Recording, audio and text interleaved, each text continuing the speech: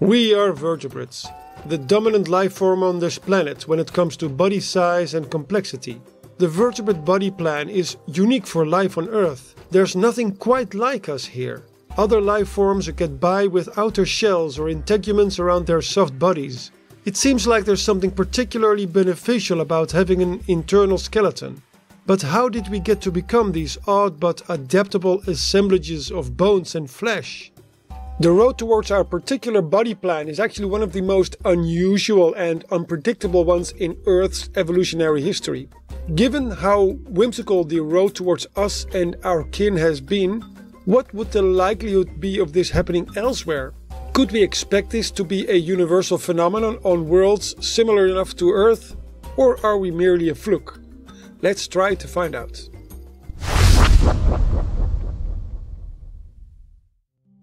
Decades before Darwin's Origin of Species came out, acclaimed naturalist Richard Owen created an archetype for the vertebrate body plan. Using his insights into comparative zoology, he inferred the homology of all skeletal elements of everything from fish to human and created a fundamental template for all. However, Richard Owen did not really create his archetype with naturalistic evolution in mind. At the time, he regarded his archetype as more of a blueprint as conceived of by the creator. Of course, eventually it turned out that evolution by natural selection was the best scientific explanation for those very patterns binding living creatures together. Nevertheless, when it was still in its infancy, the theory still faced challenges. Most glaring was the seemingly enormous gap between vertebrates and invertebrates. However, not long after The Origin of Species was published, several obscure creatures came forward with interesting traits that appeared to bridge exactly that gap. One of these creatures is the acorn worm. Unassuming at first sight, it's actually remarkably complex. Their bodies are divided into three sections a proboscis sticking out at the front, followed by a collar and an elongate worm like trunk. Each region has its own internal coelomic compartments providing hydrostatic support. Not only do they have a circulatory system, they seem to breathe water much like fishes do. Water enters the mouth, after which food particles are filtered and then the water is expelled again through a series of openings along the sides called gill slits. The soft body is not stiffened by a tough cuticle like an arthropod's or anchored to a shell as in mollusks. Instead, some of its firmness comes from within, and not just hydrostatically. In order to keep the trunk from flattening and thereby closing the gill slits, these are strutted up by rigid elements of connective tissue. And part of the proboscis is even supported by a simple form of cartilage. Now, for all their similarities to fishes, acorn worms still lead a humble life digging through the sediments. Enter Amphioxus, also known as the lancelet. This is by far the most fish like creature that can still be regarded as an invertebrate. It has an internal structure called the gill basket that appears to be an elaboration of the same structure found in acorn worms, but fully supported by elements of simple cartilage. Not only that, lancelets can swim by undulating their bodies from side to side using segmented muscles called myomeres, exactly like fishes do.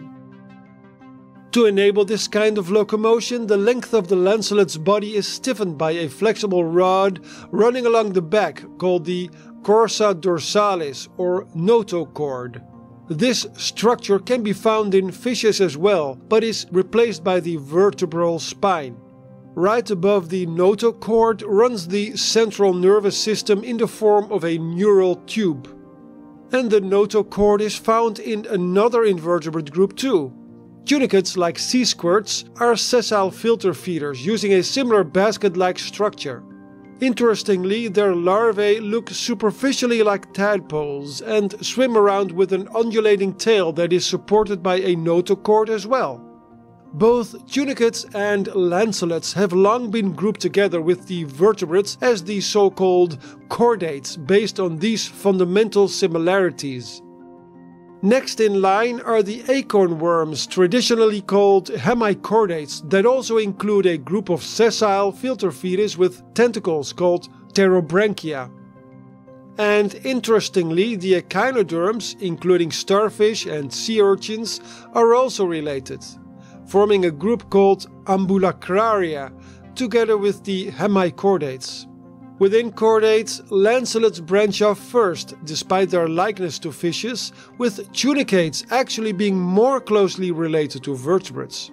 Together, all these groups form a major split in the animal kingdom, and it is at this very split where the march towards the vertebrates begins. Bilaterians are divided into two main groups based on embryological features that, oddly enough, disagree on where food should enter the body and where it goes out. The primordial body opening, called the blastopore, is what in protostomes generally develops into the mouth, and in deuterostomes into the anus. So the common ancestor of both likely had a single gut opening that differentiated later. Modern day flatworms are very good models for such an ancient predecessor. Even though the body is bilaterally symmetrical and has a clear direction, the gut opening is located in the middle of the ventral side of the body facing the substrate. Now, flatworms are protostomes, and in more advanced protostomes, the gut opening is believed to have elongated and then closed in the middle, creating a tubular directional gut. This evolutionary process, called amphistomy, could explain why the nervous system of protostomes is typically found on the ventral side. Deuterostomes may also have started out with a flatworm-like habitus and a group of similar animals called Xenoturbellida has recently been placed inside this major branch. Apart from the mouth and anus being swapped between these main branches of Bilateria, the central nervous system of chordates generally runs along the back instead of the belly, yet it is governed by the same regulatory Hox genes. So the question becomes, what on earth happened to enable this double swapping? Based on some of the latest research and some speculation on my part, the path to the vertebrate body plan seems to have gone through several stages of adaptation. In the ancient Precambrian seas, the earliest bilaterians had limited options for survival.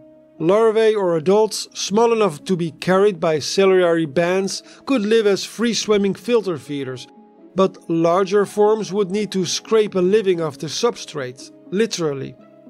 Microbial mats were still plentiful, but these were mostly restricted to the photic zones of shallow waters and wherever currents weren't too strong. In other areas, it paid off to be a deposit feeder, sifting the sediment for organic matter. Some protostomes could have started out ingesting sediment and then expelling it again when anything of interest was extracted from it. Early deuterostomes may have taken a different and more sophisticated route here. Instead of merely ingesting sediment, cilia could be used to generate a water flow around the body to help separate food from sediment. Food particles suspended in water are typically lighter than sediment, so a simple filtering system could have started out this way. Acorn worms still use this method, facilitated by their proboscis and a collar region directing water towards and through their trunk for filtering, using sticky slime to catch the food particles. This was the start of the simple threefold or tripartite organization of the body supported by water-inflated coelomic cavities between skin and gut. The front part stirred up sediments as the animal moved forward with lighter particles transported by cilia as on a conveyor belt downwards towards the gut for ingestion. It's unclear what happened next, so some of the following is rather speculative on my part. Perhaps water started to be ingested for more precise handling and released again when done. The anteriormost end of the gut extended for this, creating a sort of atrium and perhaps eventually an extra opening developed that was creating a new ingestion point. Further back, lateral furrows could have deepened until they pierced through the, to the atrium, thus creating outflow points. The original gut opening moved gradually backwards in order to become the anus. This actually led to a fourth section of the body, a so-called post anal structure. Ambulacrarians branched off at this point and either largely remained the same like acorn worms or specialized further into pure filter feeding like pterobranchs and the ancestors of echinoderms. The branch towards the chordates could have dedicated themselves to pure filter feeding in earlier life stages as pelagic larvae by truncating the deposit feeding adult form. In order to grow bigger again, a more powerful form of locomotion would be required than just the microscopic ciliary bands. The postanal structure would become helpful here and flapping it from side to side would create enough thrust to keep the body afloat. A certain species of acorn worm off the coast of Japan also swims periodically, but only for mating purposes. However, this shows that this is possible even with simple body structures. What then must have followed was an extension of the postanal structure into an ever stronger swimming tail. In order to improve swimming abilities further still, a stiffened internal rod, which would become the notochord, started to extend from the trunk into the tail. This may have been derived from a similar structure found in acorn worms called the pygochord that sits below the digestive tract to stabilize it during burrowing. Annelids have a comparable structure called the axochord, so it's conceivable that this is related to a burrowing lifestyle and that was being repurposed here. If the notochord was derived from the pygochord or a similar structure, this might explain why a pelagic form started swimming upside down. In contrast to a more supportive structure in connection with the substrate, a longitudinal rod is more useful for the suspension of organs when floating in the open water column. So basically this structure went from being a bench to being a coat rack. By developing even more powerful swimming muscles that became segmented along the length of the body, we thus end up with the body plan of a lancelet, the tunicates then developed a new adult stage that is a sessile filter feeder, but that was either never developed or lost again in the lineage towards vertebrates. Now, the lancelet already represents the most basic vertebrate body plan. Its likeness to Owen's archetype is striking, but there's one important thing lacking an extensive internal skeleton consisting of vertebrae and especially a skull. There's a hint that this is a consequence of the mode of filter feeding that was opted for. Filter feeding can be done in two quite distinct ways. Either you branch out and pick up whatever's in the open water, or you suck in water and funnel it through part of your body while filtering it. And in order for water to pass through your body, you need it to retain shape. Sponges solve this by building a microscopic scaffolding made out of silicate elements. Bivalves like clams and oysters surround their bodies with a mantle that secretes a solid shell made out of rigid calcium carbonate, providing protection at the same time. The distant ancestors of vertebrates opted for a third way an internal skeleton made of cartilage strutting up the gill apparatus first of all. This was then later repurposed and extended throughout the rest of the body. Given the biomechanics involved here, there's a reason to believe that the beginnings of a vertebral column would always be initiated on the dorsal side of the gut.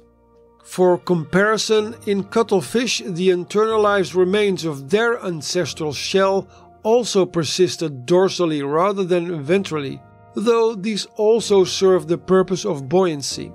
So either the ancestor of any vertebrate-like animal developed their spine along the back to begin with, or flipped the body to make sure that it was there. So the vertebrate recipe seems to be following 10 pivotal steps. Move from microbial mat grazing to deposit feeding and burrowing. Move from deposit feeding to pure filter feeding. Specialize filter feeding by way of sustaining an in and outward water flow. Develop internal support structures for retaining shape while filtering water.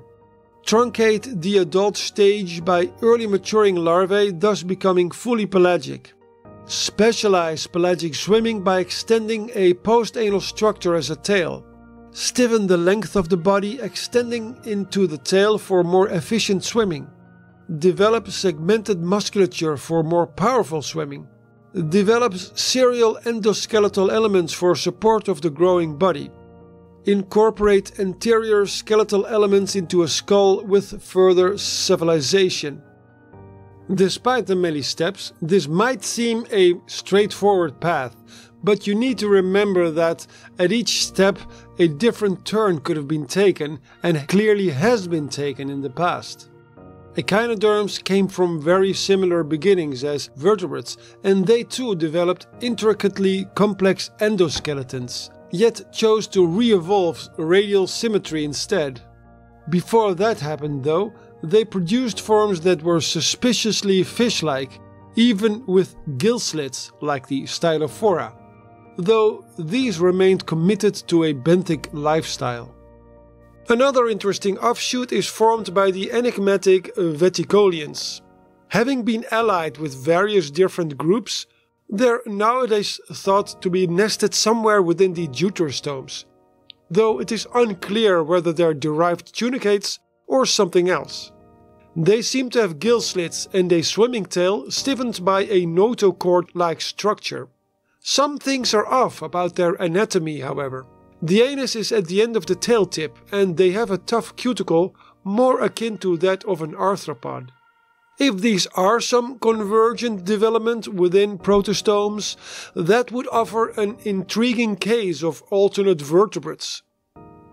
There is also Phylliroe, a pelagic nudibranch that swims like a fish does, but it only has a shallow resemblance and none of the deeper structures that make out a vertebrate. The road to all this may seem convoluted, but given the many attempts that happen throughout evolution by countless lineages, it's not unthinkable that there always will be one lineage that hits the jackpot with this most advantageous of body plans. But what do you think? Will something like vertebrates always inevitably evolve given these basic principles? And if they would, what about other distinguishing features like jaws and appendages? Could we conceive of an upside down exovertebrate with a spine running along the belly instead of the back? Or with two spines perhaps? Let us know in the comments and I'll take a look at it. If you like this video, please give it a thumbs up and maybe even a sub if you haven't already. Thanks for sticking around. Until next time, stay sharp and stay evolved.